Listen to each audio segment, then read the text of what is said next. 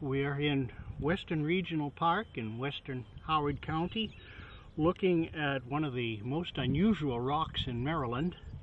This particular rock is called the Sykesville Formation and it is it has earlier been called a boulder gneiss because it's a basically a sedimentary rock that consists of all chunks of rock like a conglomerate uh, from a few inches in size, such as these pieces here, up to pieces that are a mile and a half in length. Those are found in places in Virginia.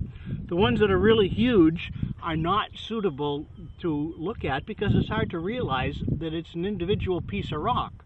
The geologists who mapped it originally mapped them as separate rock units when they're really large pebbles.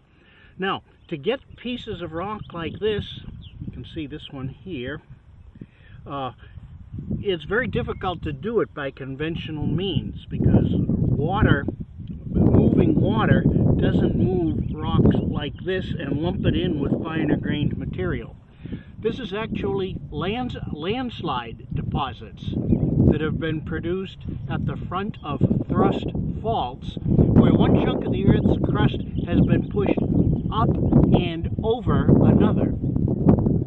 Uh, this was all underwater at the time. It's hard to hard to imagine. Here we are in nice, peaceful rural country, dry land. Back at the time these rocks were made, made this was a very steep slope underwater and when the fault would move and push over, up and over, the leading edge of the fault would create a very steep slope which would then break off, slide down, and then the fault would override it.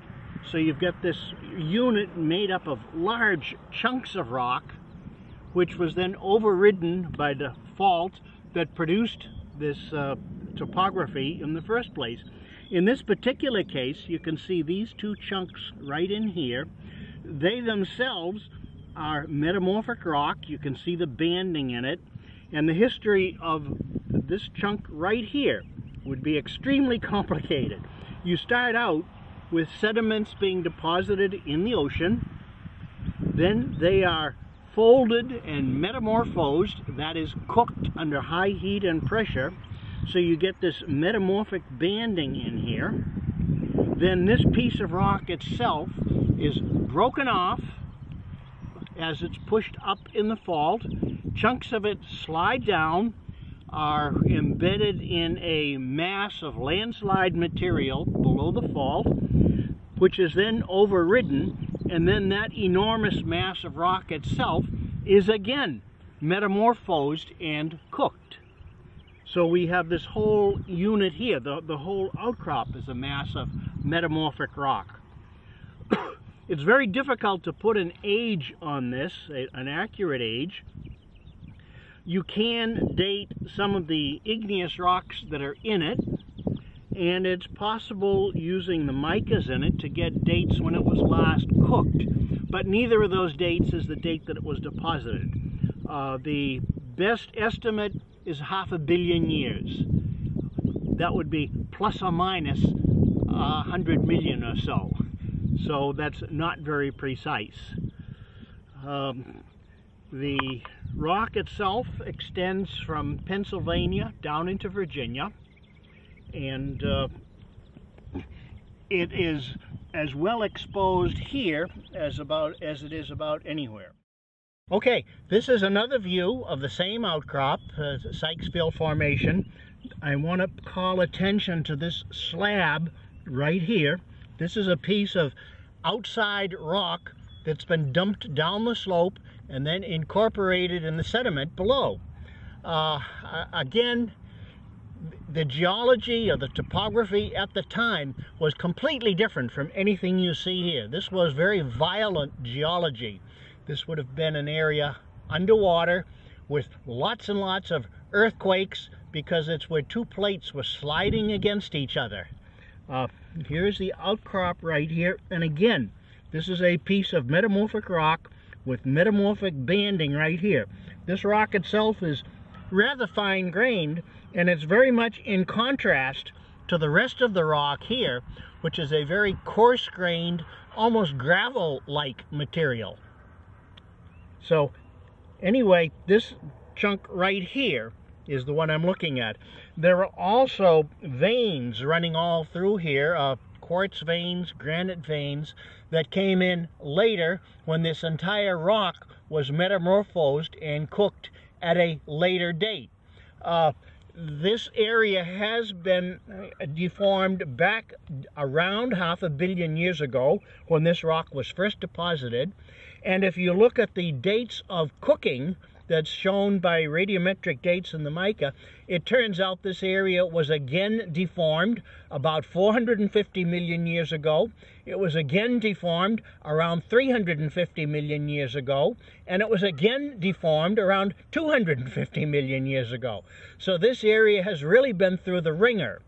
Uh, when it first started out, the fact that it was uh, deformed around half a billion years ago tells us that it was originally not part of North America at all.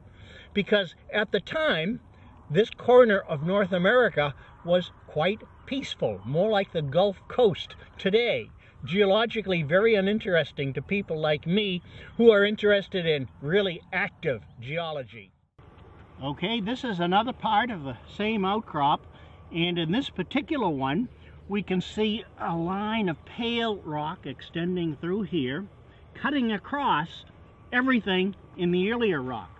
Uh, there are chunks of rock here, such as right up here, that are embedded in the main outcrop. These are the, some of the boulders or pieces that were deposited, and this crack runs right across it. Uh, this crack, by the law of geology called the, the principle of cross-cutting relations, anything that cuts across something else has to be younger than that something else. So this vein here, and it's actually a granite vein, is came in after the rock itself was formed and after the rock itself was cooked because this cuts across all the uh, metamorphic structures in here. What the date, exact date of this rock is, the granite that is, again, I do not know if anyone has dated this particular one. Uh, if it has a zircon in it, then you could actually get the date that it came in.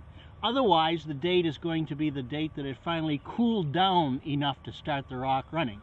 Different geologic clocks work in different ways. Uh, but this granite indicates that there was a lot of geologic, or at least a little bit of geologic activity after, well, long after the main rock was formed. This is the granite vein again here, and I just wanted to point out here is another chunk of rock that was deposited in this when the when the main rock was being deposited. So this is a small boulder, uh, what's called a cobble, that was deposited when the rock was deposited. It itself is a metamorphic rock that was cooked before it was ever deposited in here and then has been cooked again as this main rock was metamorphosed. And then later the granite itself came in. And if there's granite coming through the rock here that again is another period of cooking. So we have at least three separate periods of really active geology that are demonstrated in this one little spot right in here.